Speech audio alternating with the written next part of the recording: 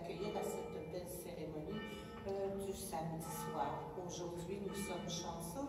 Il y a des enfants qui se sont joints à nous et on leur dit un gros bonjour tout spécial à eux. Le chant d'entrée euh, ce soir se trouve à deux endroits dans votre feuillet paroissial au milieu, Seigneur des temps nouveaux, que je sais que vous connaissez bien, et ainsi que dans votre prion à la page 26. Les autres chants, je vais vous les annoncer au fur et à mesure. Si maintenant vous voulez vous lever pour accueillir notre célébrant.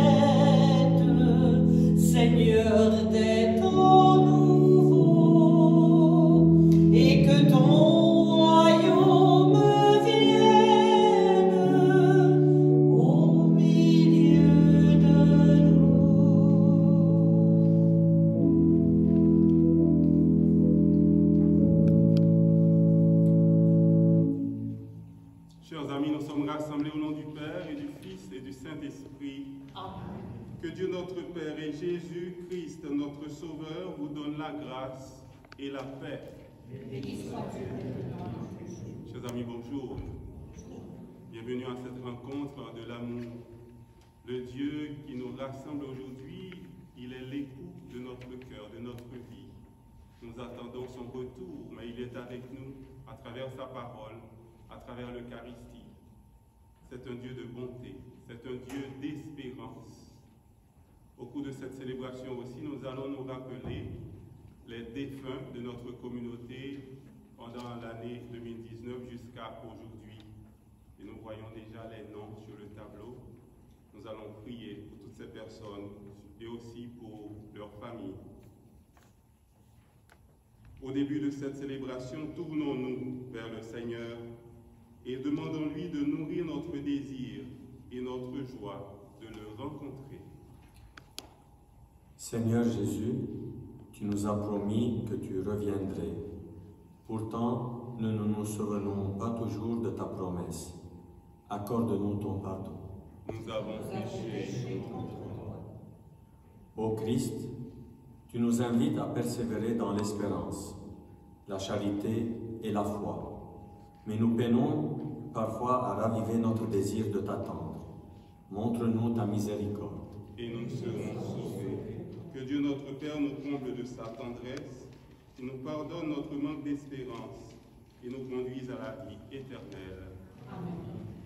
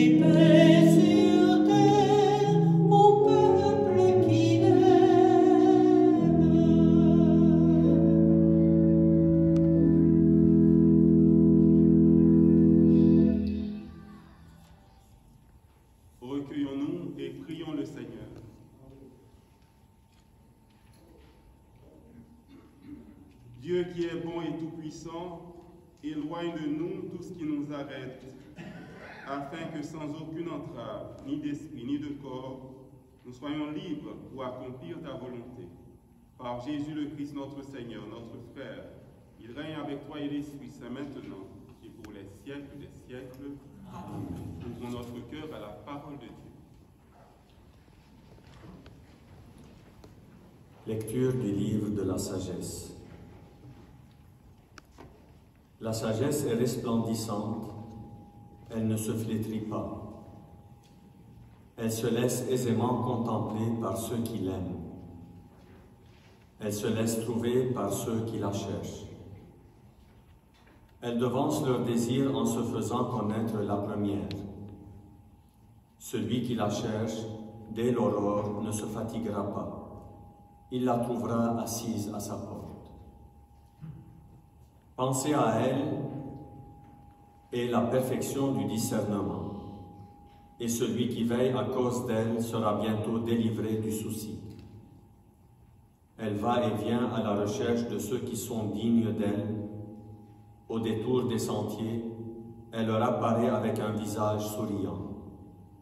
Dans chacune de leurs pensées, elle vient à leur rencontre. Parole du Seigneur.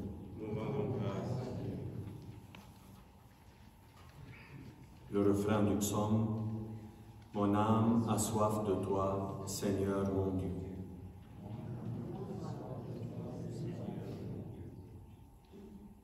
Dieu, tu es mon Dieu, je te cherche dès l'aube. Mon âme a soif de toi. Après toi languit ma chair, terre aride, altérée sans eau.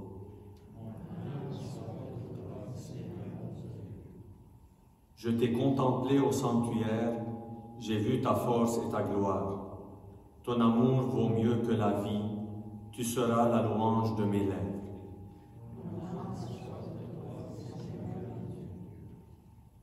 Toute ma vie, je vais te bénir, lever les mains en invoquant ton nom.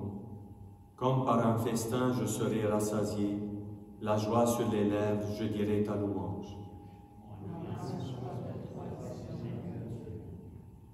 Dans la nuit, je me souviens de toi et je reste des heures à te parler. Oui, tu es venu à mon secours, je crie de joie à l'ombre de tes ailes.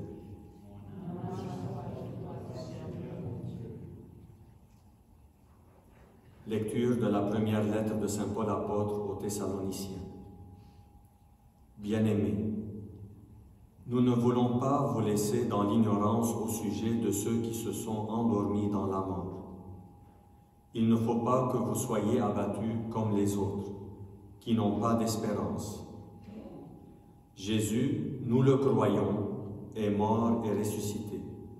De même, nous le croyons aussi, ceux qui, se, ceux qui se sont endormis, Dieu par Jésus les emmènera avec lui. Car sur la parole du Seigneur, nous vous déclarons ceci. Nous les vivants, nous qui sommes encore là pour la venue du Seigneur, nous ne devancerons pas ceux qui se sont endormis. Au signal donné par la voix de l'archange et par la trompette divine, le Seigneur lui-même descendra du ciel et ceux qui sont morts dans le Christ ressusciteront d'abord. Ensuite, nous les vivants, nous qui sommes encore là, nous serons emportés sur les nuées du ciel en même temps qu'eux à la rencontre du Seigneur. Ainsi, nous serons pour toujours avec le Seigneur. Réconfortez-vous donc les uns les autres avec ce que je viens de dire. Parole du Seigneur.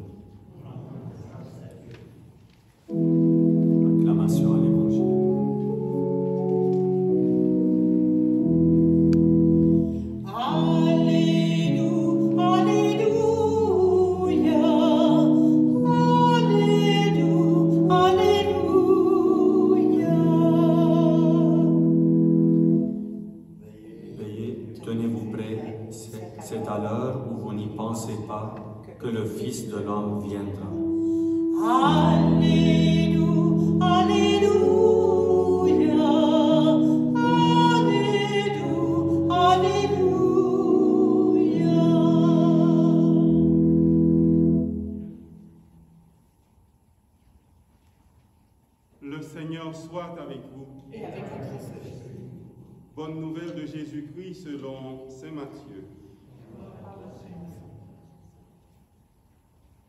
En ce temps-là, Jésus disait à ses disciples cette parabole. Le royaume des cieux sera comparable à dix jeunes filles invitées à des noces qui prirent leurs lampes pour sortir à la rencontre de l'époux. Cinq d'entre elles étaient insouciantes et cinq étaient prévoyantes. Les insouciantes avaient pris leurs lampes sans emporter d'huile, tandis que les prévoyantes avaient pris avec leurs lampes des flacons d'huile. Comme les bouts elles s'assoupirent toutes et s'endormirent. Au milieu de la nuit, il y eut un cri. Voici l'époux, sortez à sa rencontre. Alors toutes ces jeunes filles se réveillèrent et se mirent à préparer leurs lampes. Les insouciantes demandèrent aux prévoyantes, Donnez-nous de votre huile, car nos lampes s'éteignent. Les prévoyantes leur répondirent, Jamais cela ne suffira pour nous et pour vous. Allez plutôt chez les marchands, vous en achetez. Pendant qu'elles allaient en acheter, l'époux arriva. Celles qui étaient prêtes entrèrent avec lui dans la salle des noces, et la porte fut fermée. Plus tard, les autres jeunes filles arrivèrent à leur tour et dirent, Seigneur, Seigneur, ouvre-nous. Il leur répondit, Amen, je vous le dis, je ne vous connais pas. Veillez donc, car vous ne savez ni le jour, ni l'heure. Alléluia,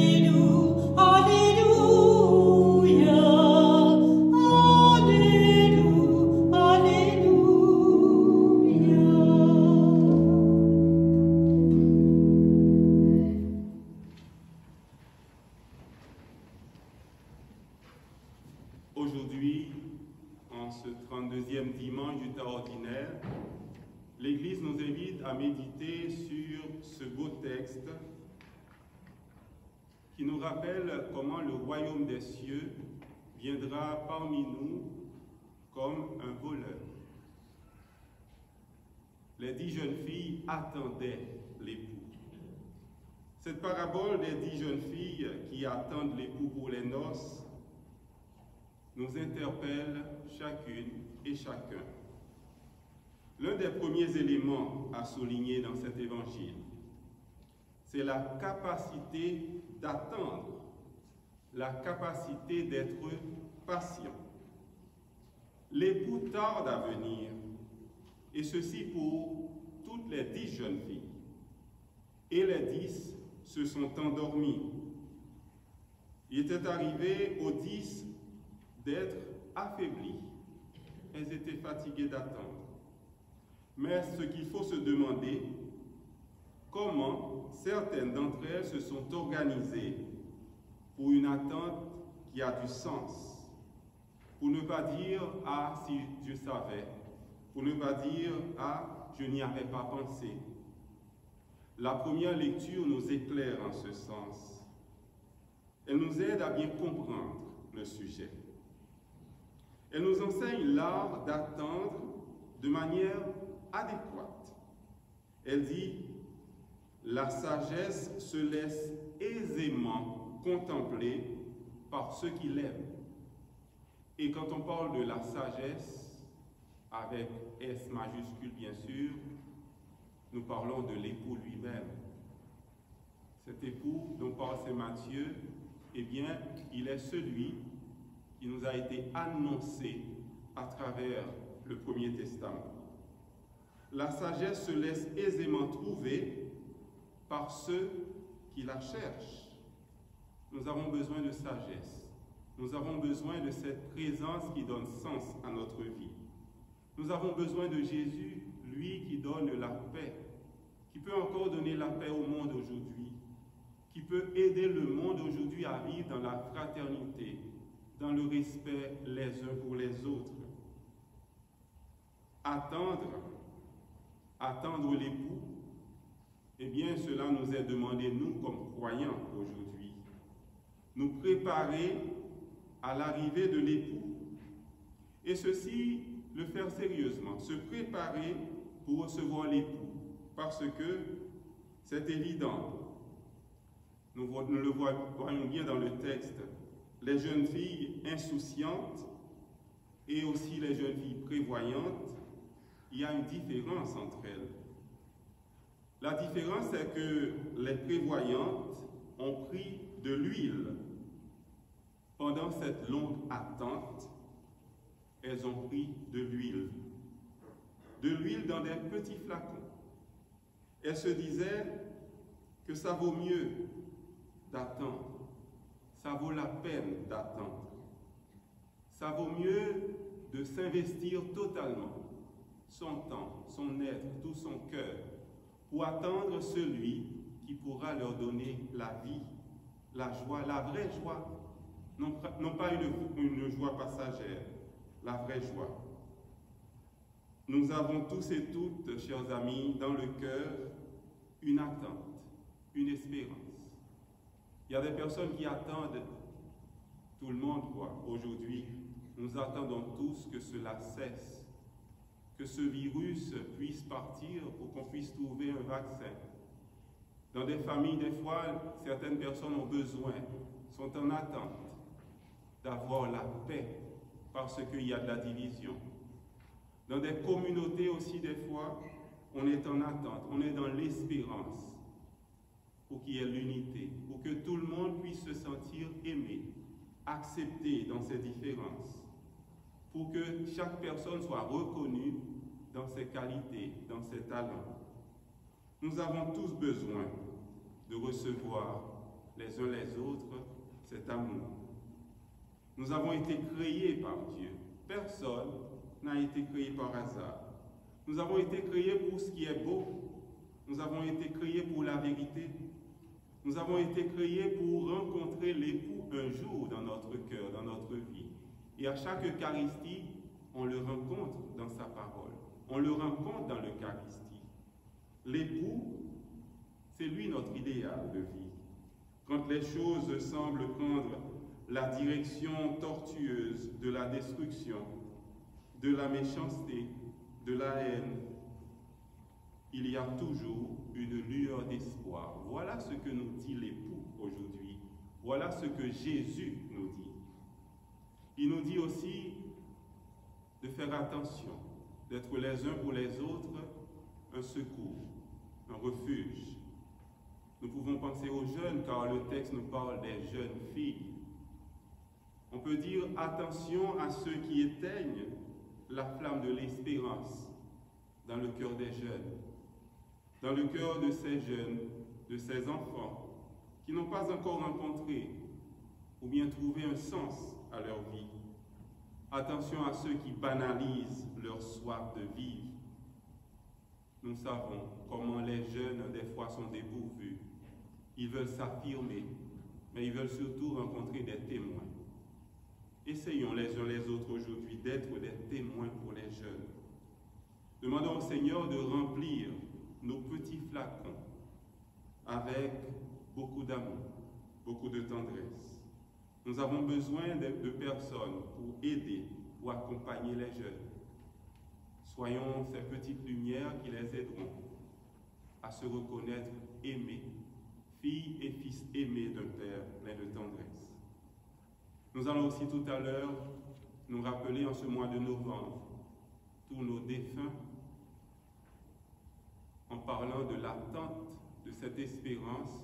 Nous savons qu'un jour, nous rencontrerons ces personnes de l'autre côté. Ils sont partis, ces personnes sont parties, des parents, des amis, des personnes de la communauté ou bien des personnes que nous avons connues et aimées. Ces personnes-là, un jour, nous les rencontrerons à côté de l'époux, avec l'époux, le bien-aimé de notre vie, notre trésor. Amen.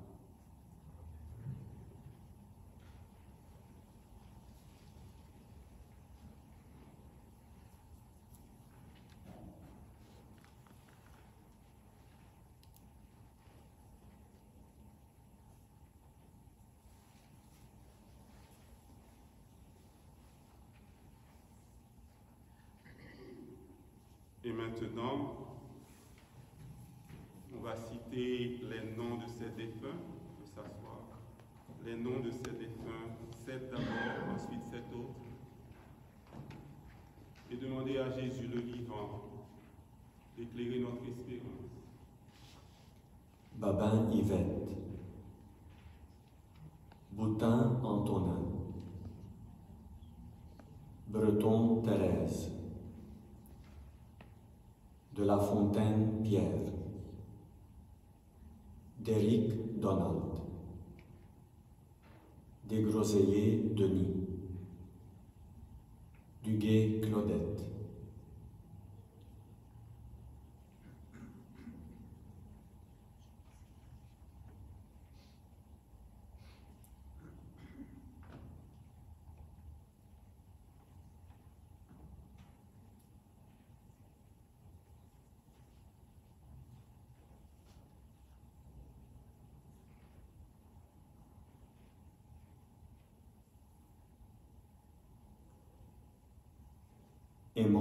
Lise, Fauteux Marguerite, Ferland Jeanne, Giambattistini Nando, Grégoire Marie-Reine, Grenier Juliette, Jarry Marcel.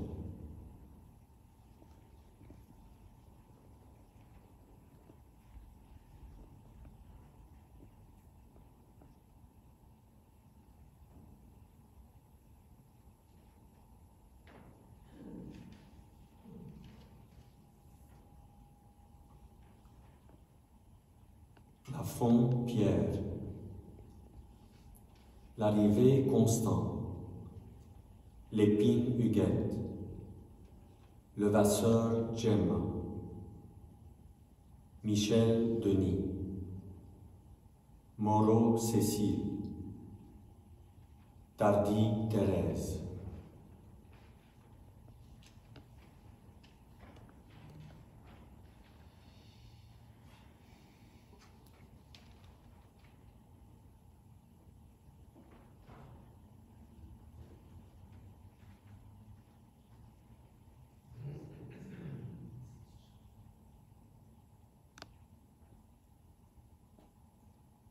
Proclamons notre foi en le Dieu de l'espérance, lui qui est notre lumière. Je crois en Dieu, le Père Tout-Puissant, Créateur du ciel et de la terre, et en Jésus-Christ, son Fils unique, notre Seigneur, qui a été conçu du Saint-Esprit, est né de la Vierge Marie, a souffert sous Ponce Pilate, a été crucifié, est mort et a été enseveli, est descendu aux enfers le troisième jour est ressuscité des morts, est monté aux cieux, est assis à la droite de Dieu le Père Tout-Puissant, d'où il viendra juger les vivants et les morts. Je crois en l'Esprit Saint, à la Sainte Église catholique, à la communion des saints, à la rémission des péchés, à la résurrection de la chair et à la vie éternelle. Le Seigneur nous invite à veiller dans la foi avec sagesse et confiance, adressons-lui nos prières pour le monde et pour l'Église. Dieu de tendresse, écoute la prière de ton peuple. Pour les gens les plus touchés par les crises, les maladies et les catastrophes qui remuent nos sociétés, prions. Dieu de tendresse, écoute la prière de ton peuple. Pour les chrétiennes et les chrétiens gagnés par la tentation du repliement devant l'ampleur de leur mission, prions. Dieu de tendresse, écoute la prière de ton peuple. Pour les personnes qui ne croient pas en Jésus-Christ et qui n'attendent rien de Dieu, prions. Dieu de tendresse, écoute la prière de ton peuple. Pour les femmes et les hommes qui souffrent et peinent à faire confiance aux autorités politiques ou religieuses, prions. Dieu de tendresse, écoute la prière de ton peuple. Pour notre communauté chrétienne appelée à attiser son désir de rencontrer le Christ, prions. Dieu de tendresse, écoute la prière de ton peuple.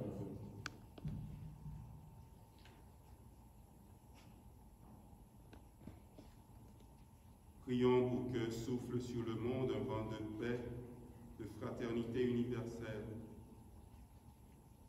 Prions pour les malades. Prions pour les personnes qui les accompagnent. Prions aussi en ce mois de novembre pour toutes les personnes qui vivent un deuil, pour qui c'est très difficile. Prions pour les jeunes, ceux qui pleurent, ceux qui cherchent encore un sens à leur vie, ceux qui ont besoin de soutien.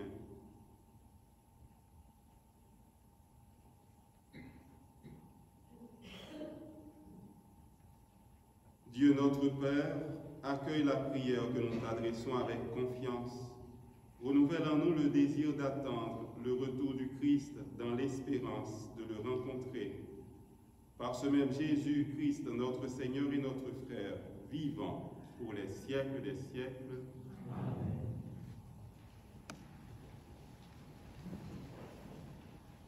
Le chant d'offertoire ce soir se trouve encore une fois euh, du côté droit de votre feuillet paroissial ou dans votre euh, prion en église à la page 27 et s'intitule Heureux celui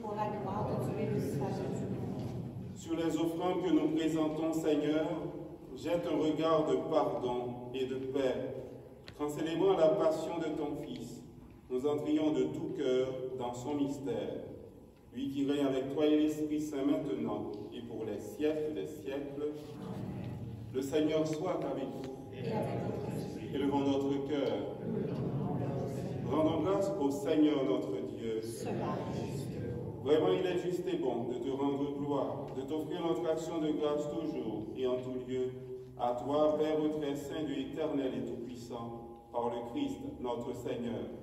En naissant parmi les hommes, il les appelle à renaître. En souffrant sa passion, il a supprimé nos fautes. Par sa résurrection d'entre les morts, il donne accès à la vie éternelle. Et par son ascension auprès de toi, notre Père, il nous ouvre le ciel. C'est pourquoi avec tous les anges et tous les saints, nous chantons l'hymne de ta gloire et sans fin nous proclamons.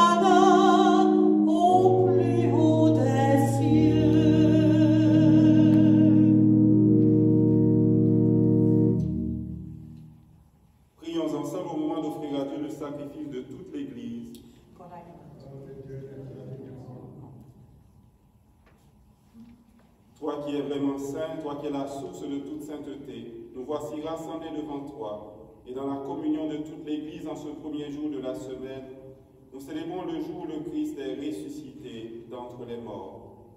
Par lui que tu as élevé à ta droite, Dieu notre Père, nous te prions.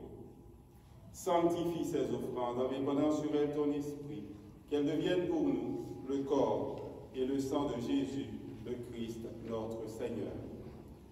Au moment d'être libre et d'entrer librement dans sa passion, il prit le pain, il rendit grâce, il le donna à ses disciples en disant, Prenez et mangez-en tous, ceci est mon corps, livré pour vous.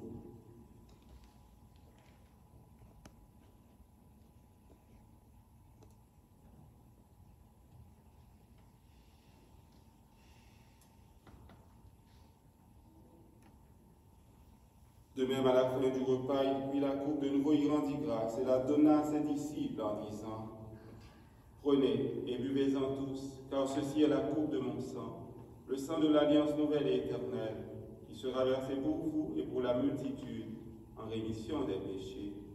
Vous ferez cela en mémoire de moi.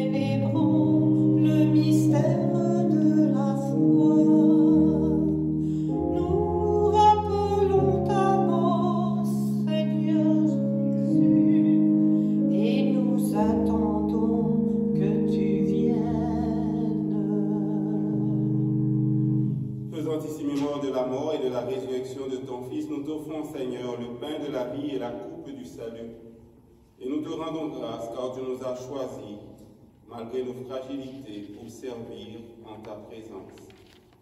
Humblement, nous te demandons qu'en ayant part au corps et au sang du Christ, nous soyons rassemblés par l'Esprit Saint en un seul corps, en une seule famille.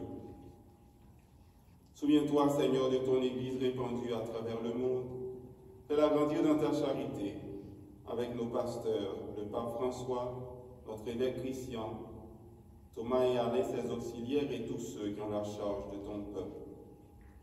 Souviens-toi aussi de nos frères et sœurs qui se sont endormis dans l'espérance de la résurrection et de toutes les personnes qui ont quitté cette vie. Souviens-toi spécialement aujourd'hui de M. Constant Larrivé, de M. Sébastien Fradette, de Suzanne Fafard, décédée à Gambie mercredi dernier.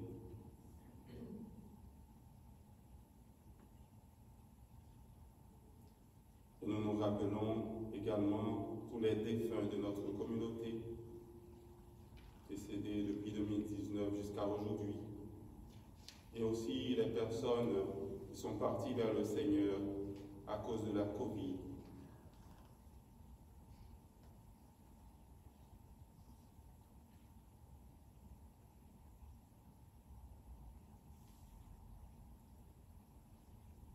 Reçois-les dans ta lumière auprès de toi, sur nous tous enfin, sur chacune et chacun d'entre nous, sur la famille roi qui demande cette Eucharistie pour demander la délivrance, pour demander l'unité dans la famille, sur le monde entier en quête de paix, de fraternité. Nous implorons ta bonté, ta tendresse, permets qu'avec la Vierge Marie, la bienheureuse Mère de Dieu, avec Saint Joseph son époux, avec les apôtres et les saints de tous les temps qui ont vécu dans ton amitié, nous ayons part à la vie éternelle et que nous chantions ta louange par Jésus-Christ, ton Fils bien-aimé. Par lui, avec lui et en lui, à toi, Dieu le Père Tout-Puissant, dans l'unité du Saint-Esprit, tout honneur et toute gloire pour les siècles des siècles.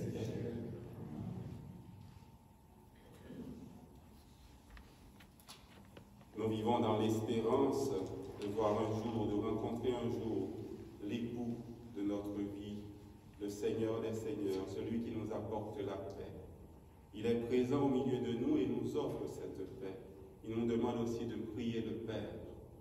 Disons ensemble, Notre Père qui es aux cieux, que ton nom soit sanctifié, que ton règne vienne, que ta volonté soit faite sur la terre. Donne-nous aujourd'hui notre pain de ce jour. Pardonne-nous nos offenses comme nous pardonnons aussi à ceux qui nous ont offensés. Et ne nous laisse pas entrer en tentation. Délivre-nous de tout mal, Seigneur. Donne la paix à notre temps. Par ta miséricorde, libère-nous du péché. Rassure-nous devant les épreuves. En cette vie, nous espérons le bonheur que tu promets et l'avènement de Jésus-Christ, notre Sauveur.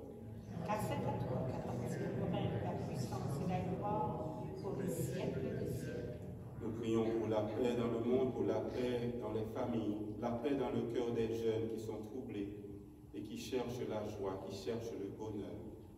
Seigneur Jésus-Christ, tu as dit à tes apôtres, je vous laisse la paix, je vous donne ma paix.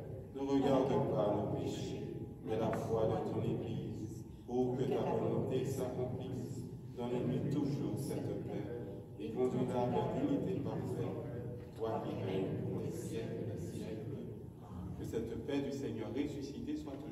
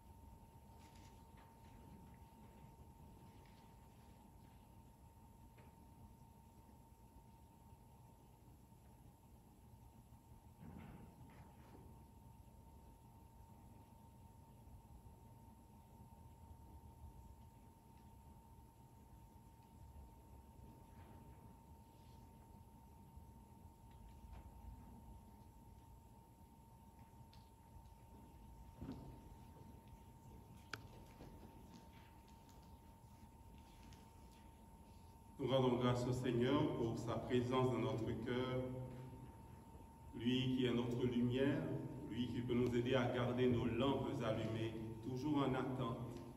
Il est celui qui peut combler nos attentes, le Dieu de l'espérance, le Dieu de la vie. Un grand merci à nos bénévoles, une fois de plus. Merci pour tout ce que vous faites. Merci Francine, merci Micheline. Merci à Dalida qui a préparé le tableau avec le nom des défunts de la communauté. Merci pour le geste de tout à l'heure, Micheline. Merci aussi à Sylvie pour le chant. Merci pour Marie-Claire et aussi à Zahir pour la lecture. Merci à notre jeune frère Richard aussi pour l'enregistrement pour YouTube. Alors, euh, au niveau de l'archidiocèse, normalement, on nous demande ces jours-ci, à cause de l'augmentation de, des nombres de cas, etc., et aussi avec l'hiver qui s'en vient, on demande normalement aux communautés de ne pas trop chanter, de ne pas trop chanter. Alors, je sais que c'est difficile parce que des fois c'est beau. Sylvie chante bien et les autres aussi. C'est beau, c'est entraînant, mais normalement, on ne doit pas trop chanter. C'est ce qui nous est demandé au niveau de l'archidiocèse pour éviter eh bien, que ça se, ça se propage trop. Et aussi, on nous demande maintenant que tout le monde puisse garder leur masque, même si on est assis. Alors, à moins qu'on ait un problème, on peut l'enlever peut-être de temps en temps, mais il faut vraiment, en tout cas, pas l'enlever de temps en temps. Là aussi, c'est pas recommandé de l'enlever de temps en temps. C'est vraiment compliqué cette situation-là mais c'est toujours pour nous protéger. On continue à faire très attention, d'accord? Alors c'est ça l'essentiel. Gardons nos lampes allumées, quoi. Faisons très attention pour être toujours en santé. Mettons-nous debout pour terminer notre rencontre avec le Seigneur.